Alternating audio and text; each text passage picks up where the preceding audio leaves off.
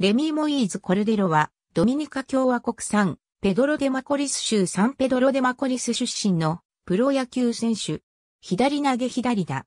横浜 DNA ベイスターズ所属。2014年にダイヤモンドバックスと外野手としてマイナー契約を結んだ。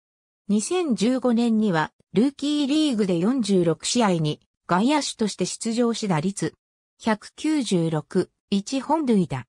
2016年にはルーキーリーグで投手として16試合に投げ、11回に3で21四球、防御率11.57の成績を残した。その後、来日するまでの2年間、故郷のドミニカ共和国の独立リーグで野球をしていた。2019年1月23日、球団から2019年シーズンの育成選手契約を結ぶことで合意したと発表した。背番号は107。同年8月7日に BC リーグのシナのグランセローズへの2019年シーズン終了までの派遣が発表された。11月20日、横浜 DNA ベイスターズから翌年も育成選手として契約を続行すると発表された。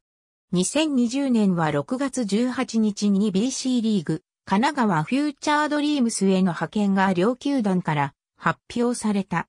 前年のシナノに続き2度目の派遣。9月16日、派遣の終了が発表された。2021年10月5日に、翌年の契約を結ばないことが、球団から発表された。長身から繰り出す、最速時速 150km の直球と変化の大きいスライダーが武器の左腕。高い奪三振率を誇る一方で、制球面に課題がある。